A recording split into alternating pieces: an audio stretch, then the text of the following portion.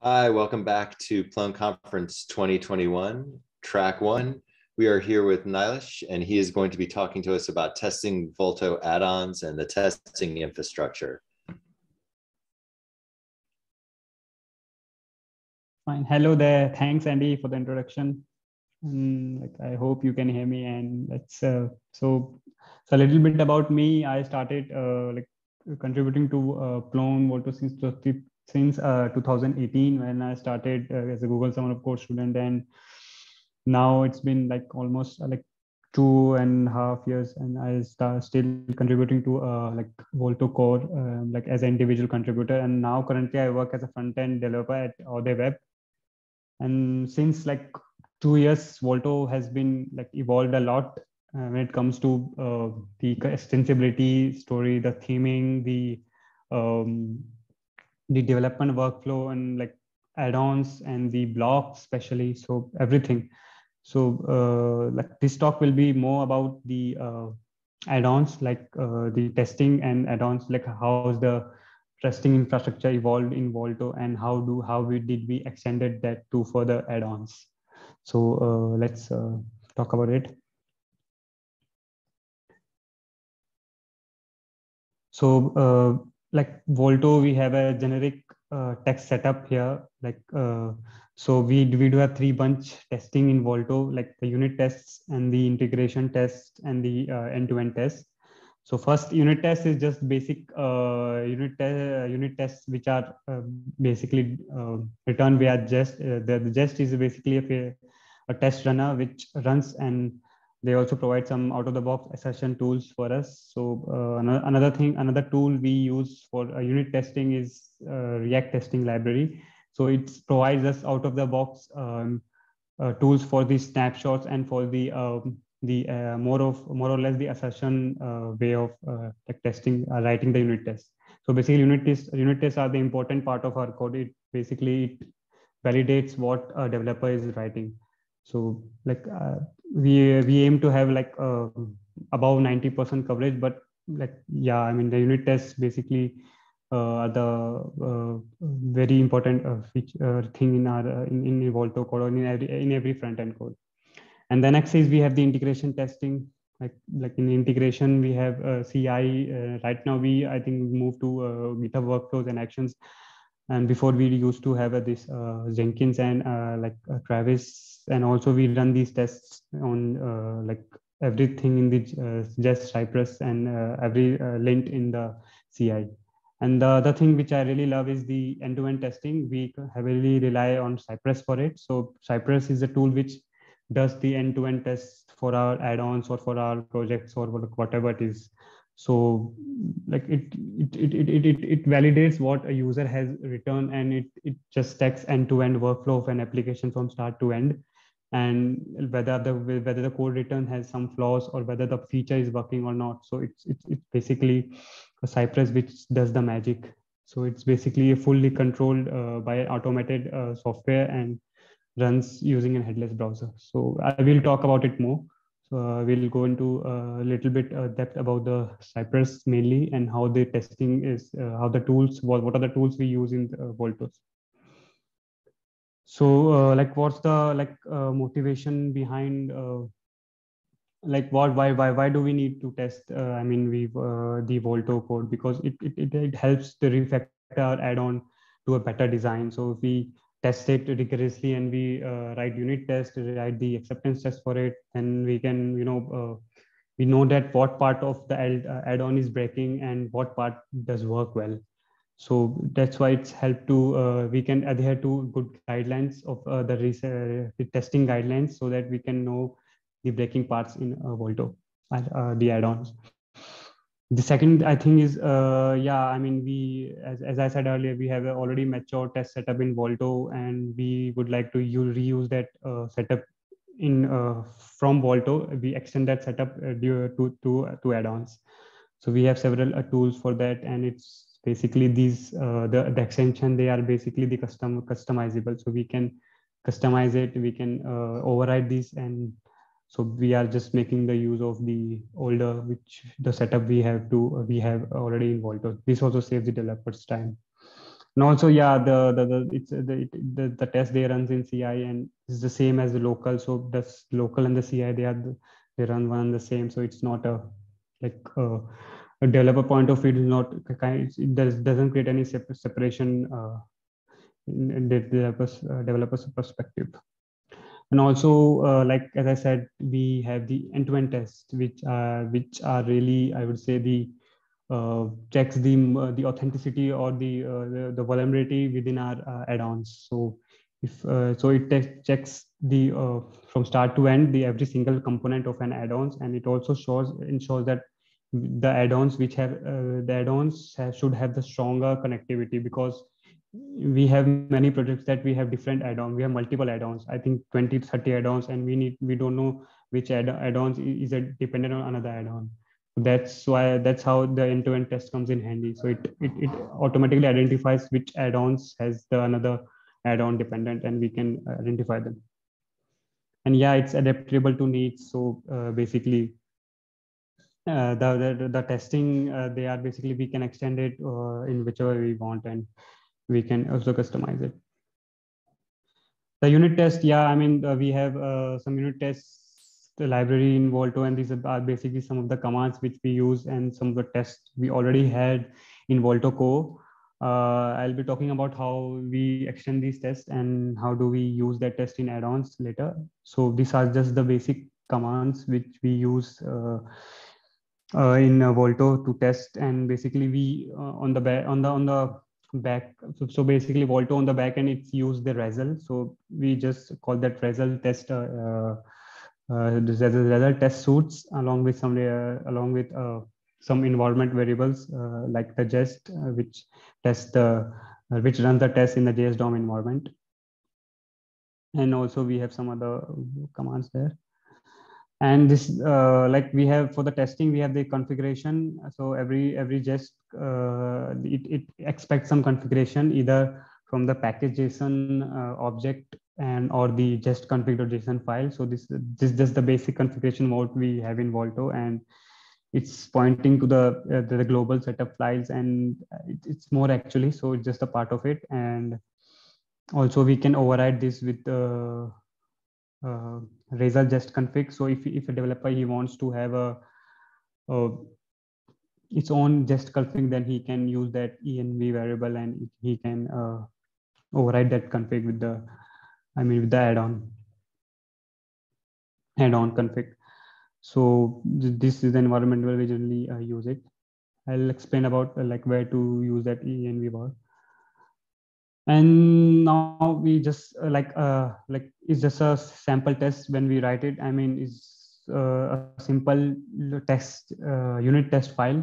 It's a test for logo and we import some uh, uh, functions from the like famous testing libraries react test render and some like store mock. So we so at, so there are some components we need to test it. And generally we use two types of testing. Uh, one is we use uh, snapshot test, which generally tests uh, how that component renders into the DOM, and if the DOM structure of that component changes, then it fails the test. So it's it's it tests it, it tests the the view, view viewability of that add-on, and that's uh, the other thing is we test the functionality of that uh, uh, component. we use several assertions for that. So this one is the basic test, which creates a snapshot actually. And we have a mock store for it. So uh, mock store uh, what it does is uh, the components which are under the redux tree they uh, they should be exposed to the redux store. So we just are um, creating a new redux store and we are uh, wrapping the component into that uh, store so that the store is available inside that component. And basically it renders the logo component and checks if that component renders and the the if that component has last change according to the snapshot. So uh, yeah, so this is the snapshot testing basically, which uh, we use in uh, in many of our uh, component tests. So I think like almost every component in uh, Volto, I think it's snapshot tested, uh, especially when it comes to view layers. So uh, we have this uh, this is a sample component uh, so we have found uh, so this is how we just uh, write the test. So it's clone.test.js and it so it imports the renderer library from react test render and uh, renderer will create a component component tree and then it convert that component into a json. So that that's how we basically calculate the diff. So it automatically when we convert that component to a json it will it will uh, create the creates the snapshot and it calculate the diff if that component there is DOM structure which usually changes. So if, if that change, then that snapshot will fail. And this is the this is how the snaps are generated. So uh, on the first test, the, snaps are generated. And if we change, let's say if we change that a link to plone.org from from plone.org to some let's say uh, twitter.org or something, then uh, that snapshot will fail and then we uh, have to decide if we want to update that snapshot or not. If we want to update it then we can update it via jest uh, update snapshot flag. So jest has this u uh, minus minus u flag which updates the snapshot and then uh, that's basically the test passes. And yeah uh, we have some assertions in the uh, testing i mean so these are basically the general testing infrastructure which every front-end project should have. And we have this uh, react testing library in volto and uh, in volto add-ons as well. So we use uh, this uh, testing library heavy heavily uh, i mean a lot to create assertions so this is a basically a footer test and like uh, so this we import the uh, render from the React testing library. And we, like I said earlier, we also create a smoke store for it. And what the render function from React testing library does is it uh, creates that uh, component tree and it injects that component hole into the document body so that we can make assertions on it. And they also it also provides uh, several other functions like we can uh, like see what what's what what is the particular test on the screen and what we can we can have several should we can also have several matches. And it's just a simple uh, container and it, it checks if it's have the text content thrown in it. So it's indexed in, in the so what uh, render does is it injects that component to a DOM and it just gives the assertions yeah we can have more uh, sessions. I mean we can more we can have more matches by adjust matches and it's available via this uh, testing library just uh, dom. Like we have the extend expect, expect we import it. We just need to import it and we can just add more assertions to our tests yeah, so let's talk about Cypress. Uh, so it's uh, basically it's my favorites and how it uh, handles the end-to-end tests. We, we, rely heavily on uh, uh, like end-to-end tests in Volto because it creates like it, it knows the uh, breaking part of or breaking the part of the component's code, how which part of that component is breaking it and where where it breaks it. So yeah, the so this is very like a nice tool. So I, I call it as a regress and repeatable end-to-end testing tool. And this is a definition from the Cypress.io website is a testing tool entirely written in JavaScript and help developers write automated tests for the web. So uh, like there are some uh, like challenges for this uh, test. I mean, uh, like when we write a unit, uh, when we write uh, end-to-end test, now we move from unit test to end-to-end test. So, so these are some challenges which we face when we move from like when we move towards the end-to-end test. So first challenge I say is the selectors and matches. So it's basically a difficult thing to like to identify which selectors and the specificity specificity of that selector because a same selector can uh, have the i mean the same element can have two uh, like a class can have uh, used by two elements and so it's, it's basically we need to be specific so these are some challenges uh, regarding the selectors and also some we have async and mutual dependent events so uh, like if we have async events which depends on another like finishing of the other event, then we need to make sure that the other event finishes first. Then uh, for the mutual dependent events, it's also uh, quite tricky to uh, like uh, quite tricky to think about. So we have data manipulation is hard. Like when we uh, use the when we write Cypress doesn't when then we'll have to add some fixtures so fixtures basically are something which we uh, which we currently uh, use to mock the data. Basically, we supply the mock data, and uh, we'll uh, yeah, talk about it in future. I mean, the later test slides. So we have uh, the so we should have the consistent consistent test environments. Yeah, that's why we uh, it's it's it's it's advised to run these tests in the Docker container. So like uh, so so that we have the consistent test environment. Otherwise, generally we uh, in Volto projects we work with the Razzle API and the Razzle uh, API path is uh, like can be different for different projects. So it's uh, like the consistent test environment setup is quite important for like for having the best uh, writing uh, test writing experiences. And yeah so it's also adaptation to ui changes because if we change something in the dom then the then the, then the selector will change and eventually the test will fail. So we have to adapt to ui changes and the challenges. Yeah and then we have selectors. So selectors i think they are the basic uh, that they are the basic building blocks. I, I would say they are the basic uh, building block of a test. So uh, so the, the, so like this is how you will write a test in uh, cypress. You will you will just use the cy.get and this is this is just a, or a normal css selector. You can use any of the selector here and and like using this selector we should make uh, we, we have these uh, sessions here. So cy.get username should have the text uh, joe smith. So it basically checks if that uh, like uh, username uh, element with the id username they have the text smith or not. So these are the, just the basic assertions and we uh, basically heavily rely on it if we want to write a cypress test. And this is the basic configuration file. So Cypress expects a configuration JSON file in the root, and we usually specify the base URL, the viewport width, and the other things. We can also specify screenshots. Uh, so there are a bunch of options it's available in the Cypress documentation, and uh, you can look at it.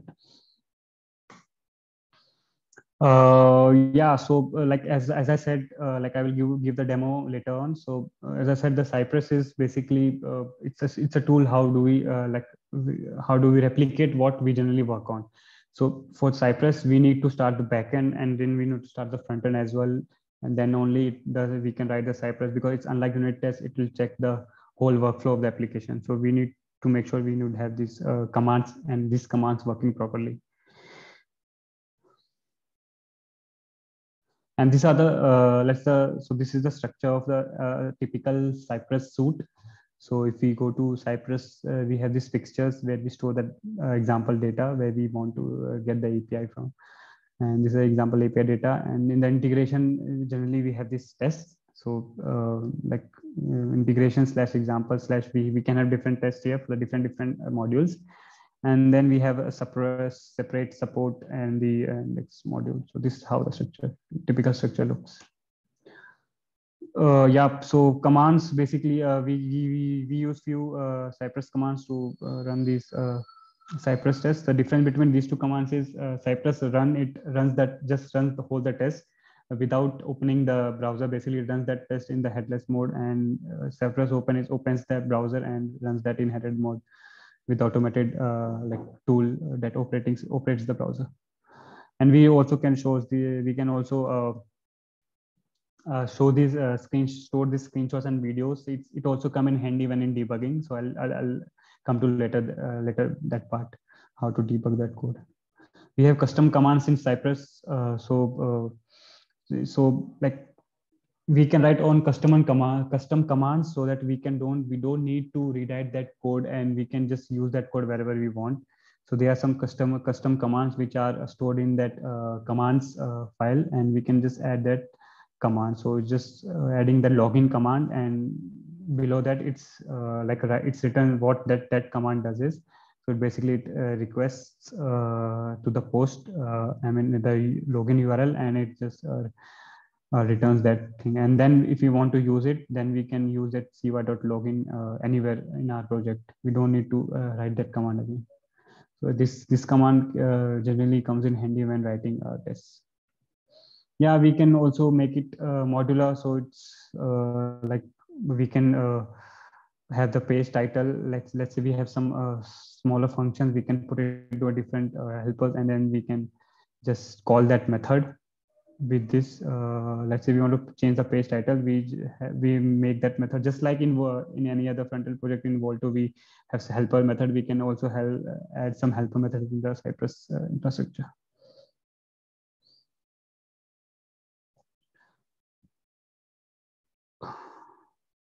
Sorry. Uh, now we can also, uh, this is the best part which I use, I uh, see in uh, uh, I love in uh, Cypress. So we can intercept the request basically. So this is how generally we make requests to follow our path. So we can intercept the request by modifying its properties and body and whatever we want. So let's say if we want to add a, if we want to show the error from backend, so we will intercept that request. We'll change whatever we want to do. We don't need to uh, create another i mean we don't need to follow the original request. We'll create our own request. So we'll intercept that request. Uh, we'll tell okay we don't want uh, that request and we'll just uh, show that customer uh, custom error message and then we'll wait for that request to happen. And then if, if it's intercepted then we'll uh, it, we can make assertions on it. We can do whatever we want debugging also it's a like debugging is also awesome thing which we uh, generally uh, uh, like love in Volto. So uh, I mean uh, love in say Cypress when we writing when we are writing the Cypress test for uh, Volto. So like six we have for debugging we do have Cypress screenshots and videos which generally help, but we also have a like another debugging API in Cypress. So we have debug and we so what debug does is it just sets the console breakpoint and we can now uh, like click on the debug and then we will uh, like see what that debug uh, what that subject particular uh, element have, have, element is having so this is how that debug uh, function works like the add-ons now uh, like so basically let's so this is this is the general how we uh, like test writes tests in cypress. Now if we move to add-ons so uh, yeah everyone knows about add-ons. It's just basically more control extending its powers. Uh, so it's basically give more powers to uh, volto.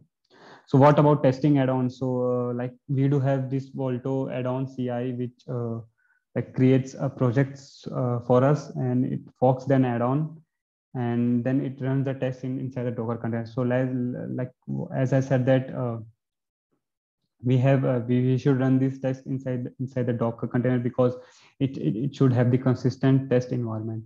So that's why generally we uh, have that, that test inside the, the Docker uh, container and we use this Volto add-on CI tool for that so so Volto add-on CI, it's basically it's just the Docker. I mean uh, Docker container which runs two commands. So basically, uh, so one is we can run it by CI, and we'll we will need to uh, pull, I mean pull it, and then we can run the container, spin the container up, and then we can pass that our, uh, uh, name of the add-on and the test what test we want to run it. I'll come to that later how that will work. So otherwise if you if you want to develop it uh, locally then we can also uh, run the test with a local so uh, a local bind mount uh, like for for the local we need to uh, mount our own uh, local directory inside the docker inside the docker container. So that's why so basically it copies that our directory inside the docker container and then we can for local we can run the tests as well so this is how Volto CI runs. And then Volto add-on CI, it basically, so uh, it, it, it, does everything basically. So it's just one command and inside uh, like in place of this command name, you can have several other commands as well. So if we use test, then we can run just test uh, Volto add-ons. Uh, I mean, the unit test in Volto add-ons. If we have the ESLint, then we can uh, we can have the we can run these ESLint checks and we can have silent we can uh, we can have silent check and we can prettier and we also have a cypress and it run the cypress in the run mode. So this is how voltos it does this. And if we don't want to use docker then you can uh, like always uh, run it uh, like on your local. So just start Plone container on the backend and start front end and these two things are necessary and then start writing tests with yarn Cypress open So if I like, just let's give you the demo. Okay, if I have a YouTube link, let's go through the test if you can see the screen now. So this is basically how do we uh, like write a test in Cypress. So I just wanted to show you this are these tests are running uh, via my local and basically what this is this is this is a browser which is controlled by automated tool and it runs the these Cypress tests. And the, the good thing about Cypress is if we if we stop it and if we can time travel it, we can see what the content it has.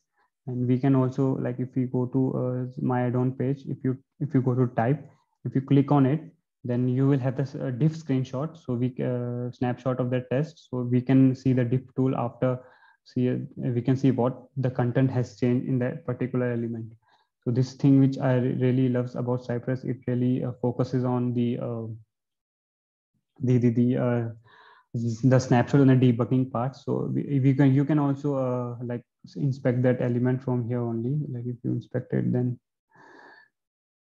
on the console also you will have information about that page type. So if you see the command and you have this, uh, the element which it does possess and you can see and you can just have that, you can get that uh, selector and then you can work with it. So this is how uh, like uh, current debug, we can also place a debugger uh, into the code and it also like at the debug at this point, it will uh, create a breakpoint and it will start debugging. So, uh, and these all screenshots, if you want, you can save it in your local file as well. And that will also come in handy while debugging. And uh, like if you want to run the test again,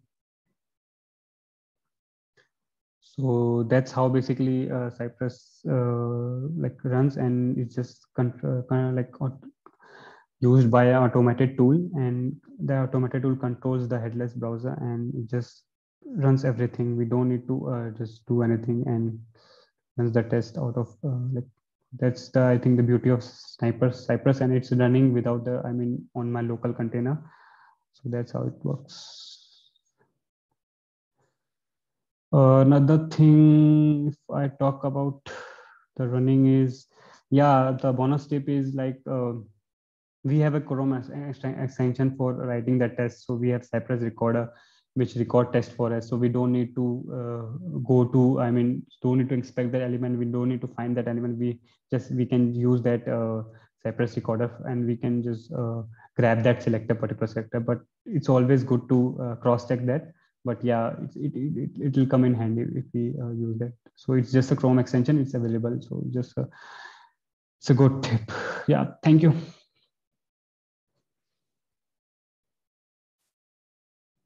Thank you for presenting. That was really great. I love seeing the uh, testing infrastructure and the tooling that we can use for ensuring high quality software components. So thank you very